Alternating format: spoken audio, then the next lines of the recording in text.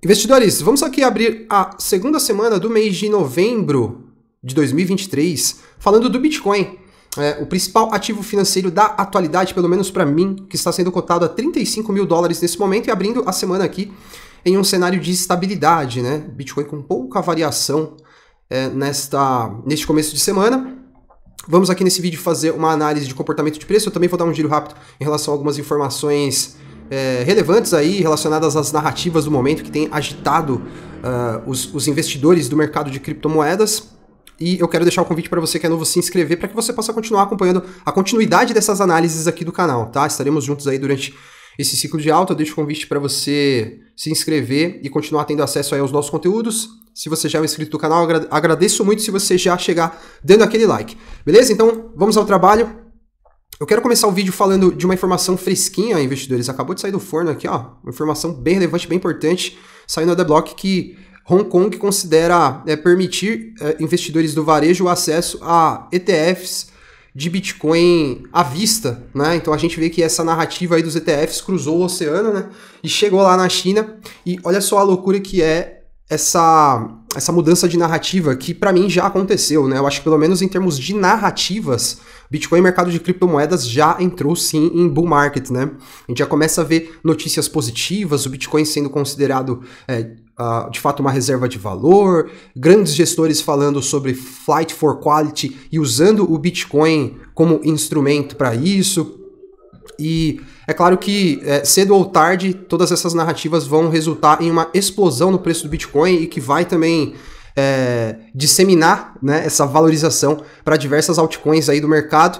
E, e, é engraçado, né? O ciclo ele se repete e, e as narrativas sempre acompanham, né?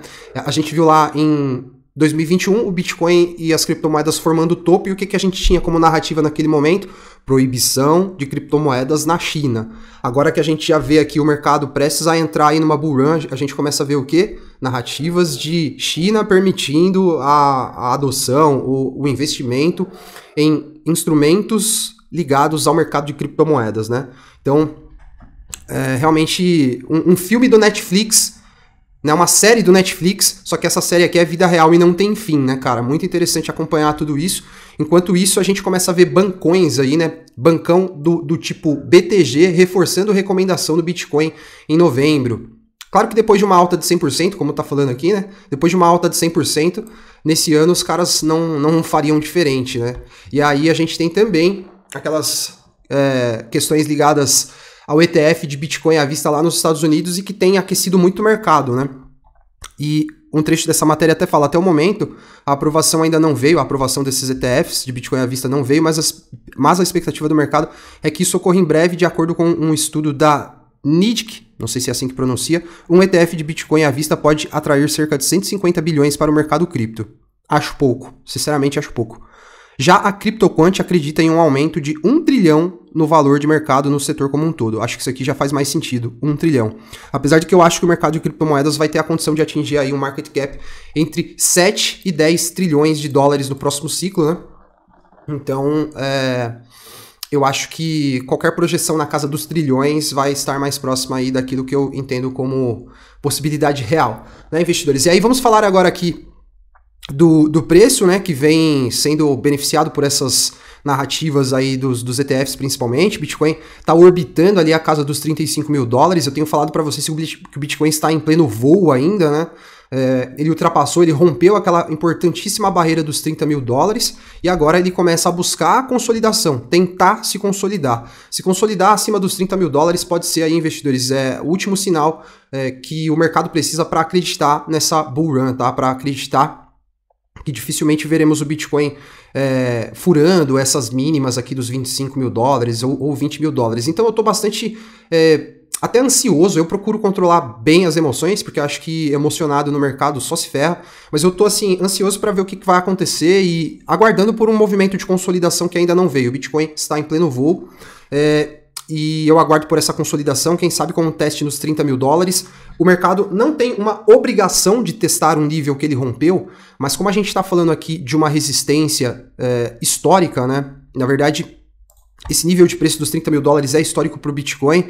É, muito em função de todo esse processo que ele passou em 2020 e 2021, né? A gente viu o Bitcoin entrando naquela, naquele movimento explosivo da bull run, nesse momento aqui, ó.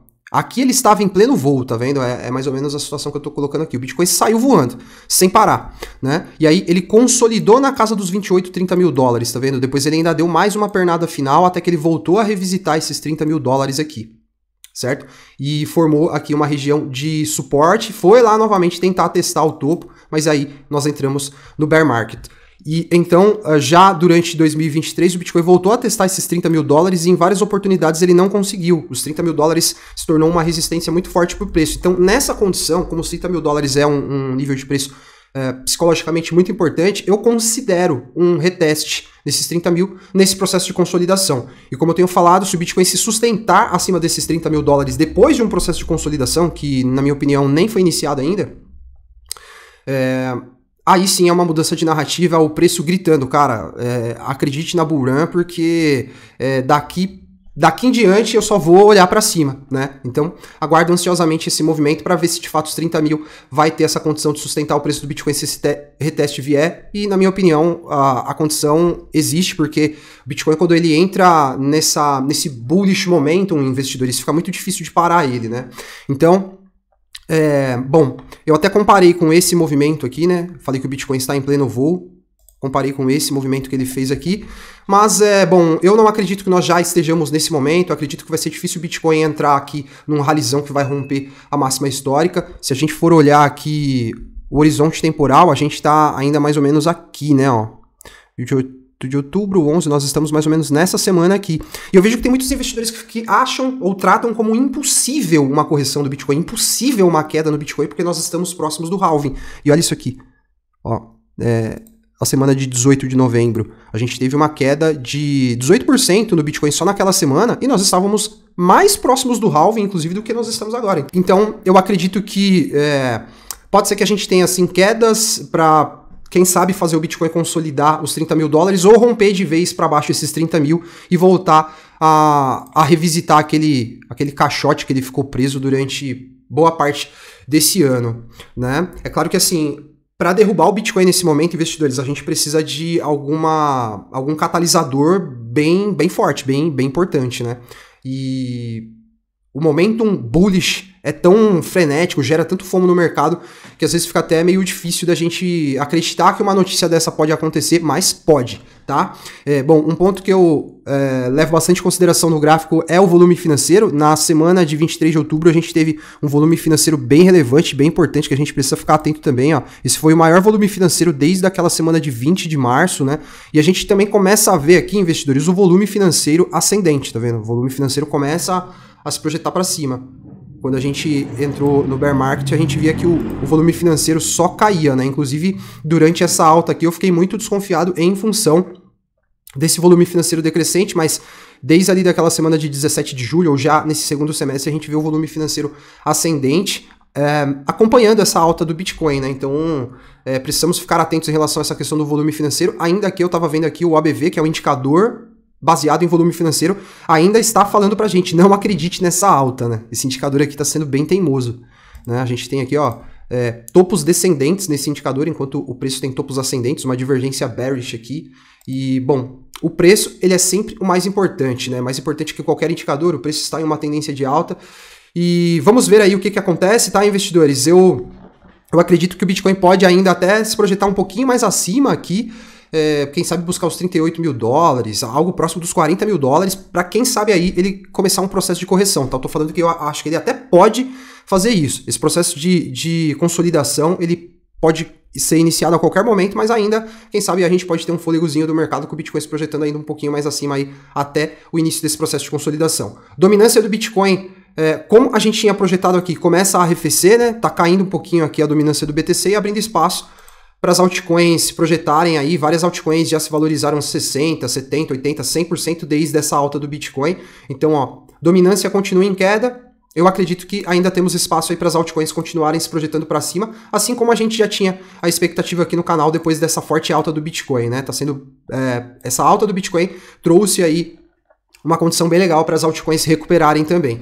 E só para eu fechar aqui esse vídeo com, com uma, uma mensagem da investidores, estava conversando com alguns investidores falando, pô, cara, será que eu perdi o bonde? Será que eu fiquei para trás? E cara, tá muito cedo ainda, investidores. Quando a gente fala de Bitcoin, de criptomoedas, de ciclo de alta, a gente está num ponto ainda é, inicial desse processo de bull run. Eu até fiz essa publicação lá no Instagram. Me siga no Instagram também, que eu compartilho bastante conteúdo legal por lá. Eu tava falando dos indicadores, né? De vários indicadores e métricas que mostram pra gente o ponto em que a gente está nesse ciclo de alta. A gente tá ainda num, num, numa fase inicial. Isso se a gente puder considerar que nós já estamos em um ciclo de alta, tá vendo? Bitcoin Rainbow Chart.